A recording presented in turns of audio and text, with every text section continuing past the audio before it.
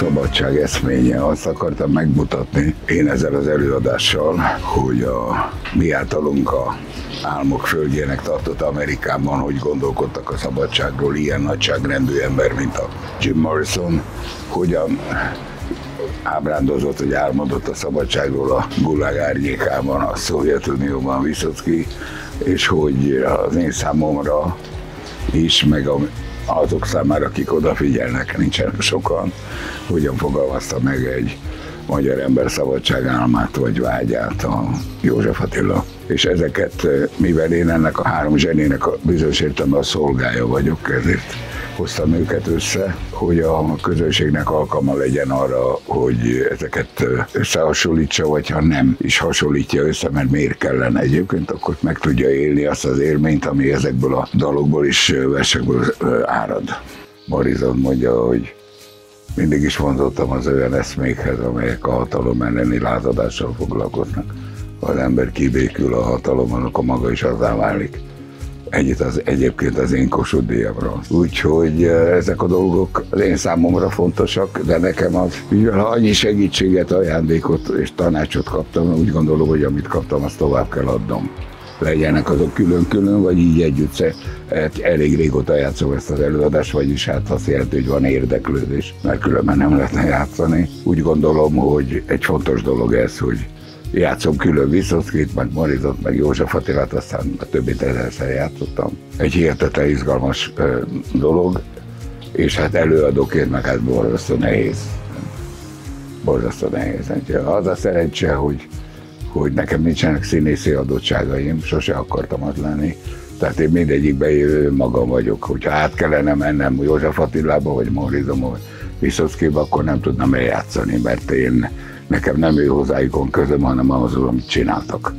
Ez nem ugyanaz, tehát, hogy, hogy nem egy szerep, hanem egy közvetítés, az nem ugyanaz. Szóval nem kell egyik nap szőkének lennem, a másikra barnának, hanem belefekhetek ebbe a dologba, és elsősorban azért, mert ez közel áll hozzám, olyannyira közel, hogy tulajdonképpen mivel magam választottam a, a, a verseket és a dalokat, ezek magukba szívnak.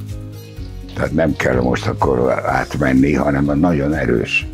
Tehát az erős, hogy az ember egy ilyet mond, hogy nem tudom én, tudod, hogy nincs bocsánat, hiába hát a bánat. Én úgy gondolom, hogy, hogy ez nekem szól, és ezt akarom továbbítani. Teljes fényben állok, minden szem látod a mikrofonnál, mint a előtt.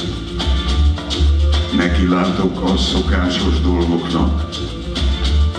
Nem, nem, lőrés mögött.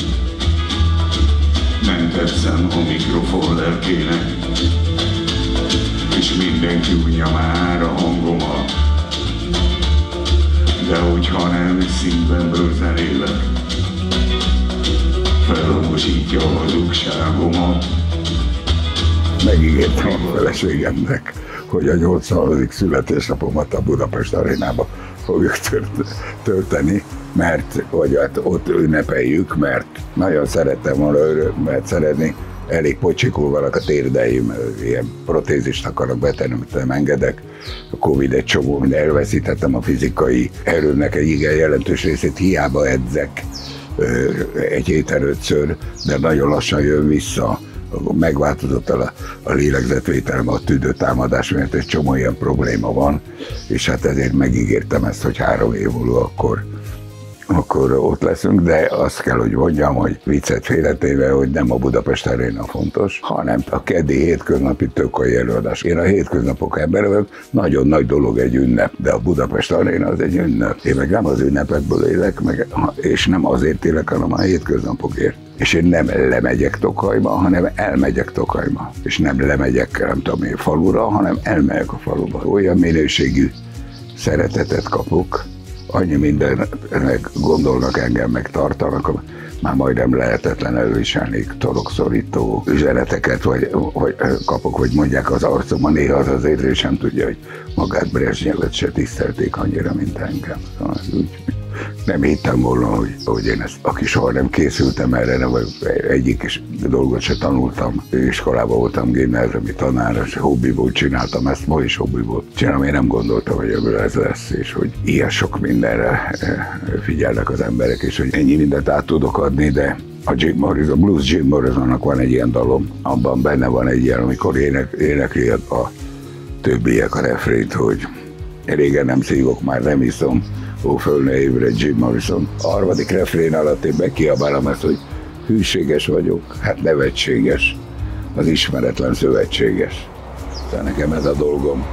És az, hogy a ennyi szeretetet és türelmet kaptam az emberektől, a, így meg boldog volt a saját dolgaimat is hozzátenni.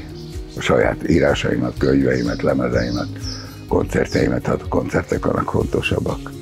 De ha az ember nem csinál más, csak a tovább adja azt, amit kapott már, az is egy nagyon nagy dolog.